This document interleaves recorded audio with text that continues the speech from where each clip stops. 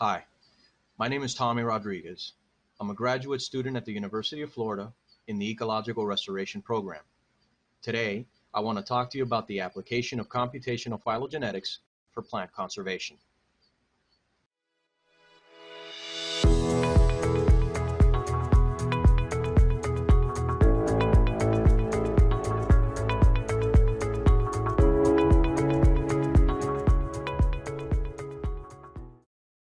Should start by telling you a little bit about myself and how I came to specialize in phylogenetics at one point.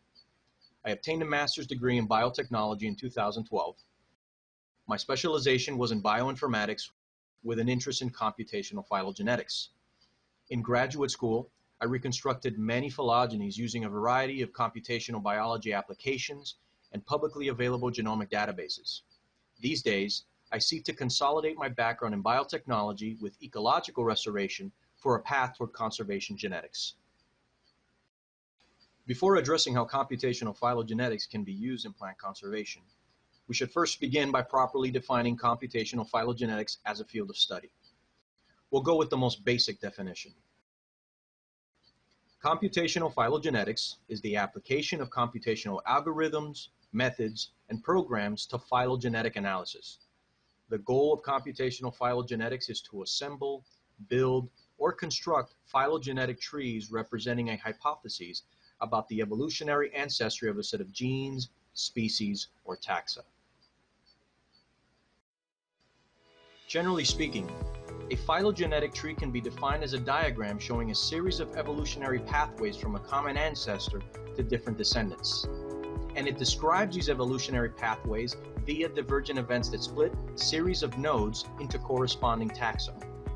There are essentially two lines of data that we examine when reconstructing phylogenies morphology and genetics. For purposes of this discussion, we'll stick to genetics, as it deals directly with the topic of genetic diversity in plant populations. To greater or lesser extents, all organisms share molecular variation patterns due entirely to their common ancestry to one another. In phylogeny research, Two types of trees are most commonly used in practice rooted and unrooted trees. A rooted tree is a tree in which one of the nodes is stipulated to be the root, and the direction of ancestral relationships is determined in a nested hierarchy of outgroup and in-group lineages. As you move from the root to the tips, you are moving forward in time. The nodes located on a rooted tree are considered a point of speciation, or the event where populations diverge into new distinct species. Unrooted trees can also be useful in showing general relatedness between and among organisms, but do not necessarily imply an ancestral root. Edge lengths, also known as branches, are important features of phylogenetic trees, as they can be interpreted as rough time estimates. Building a phylogenetic tree from genomic data as a primary biomarker requires the application of several different computational techniques. However, the very first step in any tree building exercise starts with a well thought out experiment design. This is when we think about the topic that we are interested in investigating and essentially how it will be executed. Next, the researcher must decide on sequence selection followed by data collection and analysis. Lastly, the algorithms one chooses towards sequence alignment and distance matrix modeling is a final critical step for reconstructing a phylogeny where utilizing the right combination of methods can result in better resolution and overall accuracy.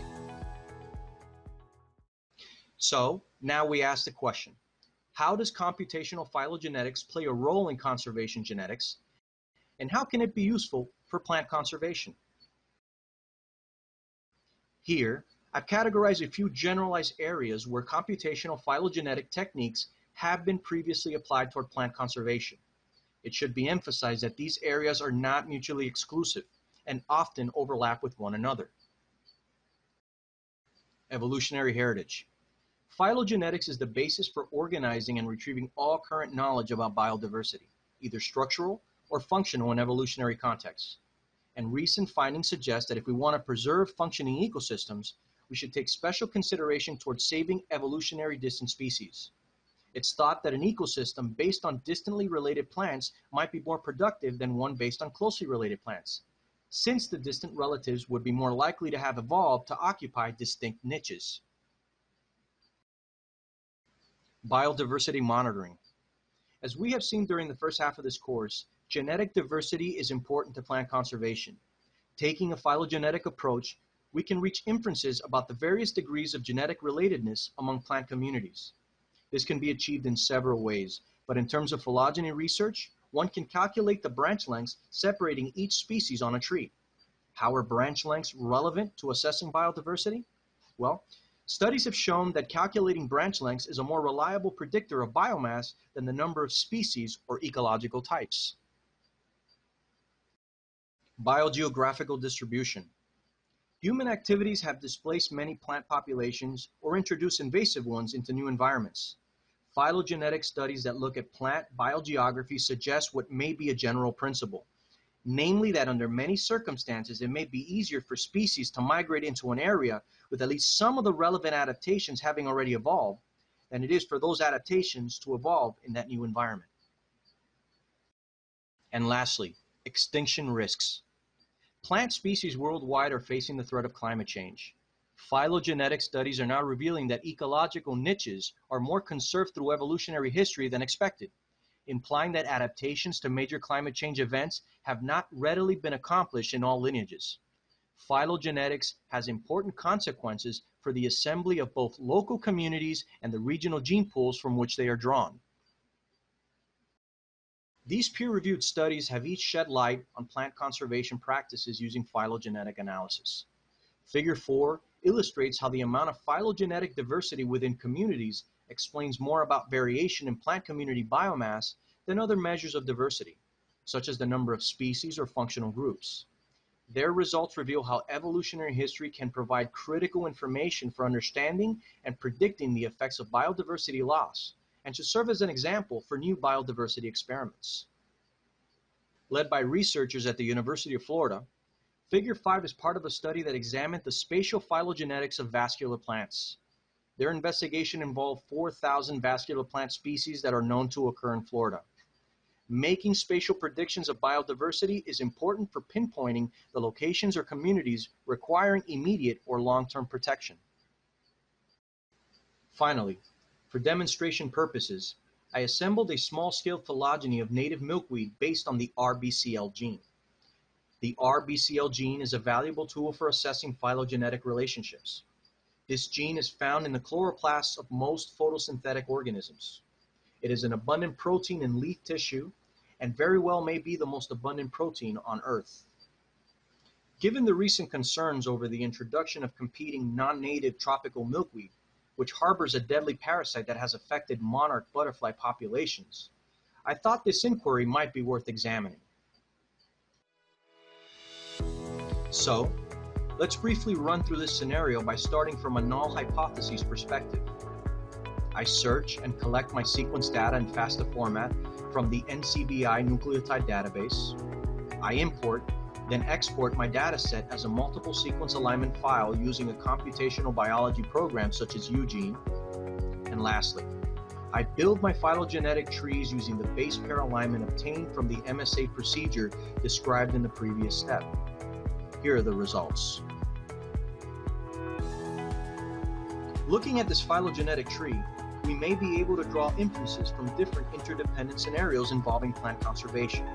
For instance, one can compare the degrees of genetic diversity and evolutionary relatedness among these species and map their overlapping biogeographical statuses, including those of newly introduced non-native varieties like the tropical milkweed. This brief example highlights the opportunities for computational phylogenetics in plant conservation when done on grander scales. My recommendation to restoration practitioners and scientists is to utilize computational phylogenetics as a strategy for increasing options for future needs and values in plant conservation, as well as for increasing the potential of biodiversity in a future environment. At the end of this presentation, I provided links to resources and downloads for those interested in incorporating phylogenetic analysis into their plant conservation efforts. The wonderful thing about computational phylogenetics is that sophisticated laboratory settings are generally not required. Your computer is your lab, and hundreds of thousands of genomic sequences are available at your fingertips.